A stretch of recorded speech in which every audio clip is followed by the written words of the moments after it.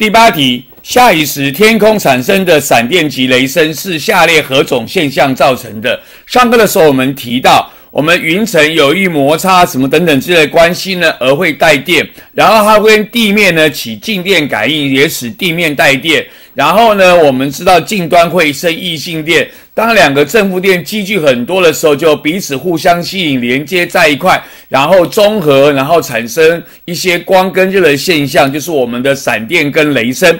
所以，我们知道第八题问我们下雨时天空产生的闪电及雷声是下列何种现象造成成的？我们答案要选 B，是正负电荷中和的大量放电现象。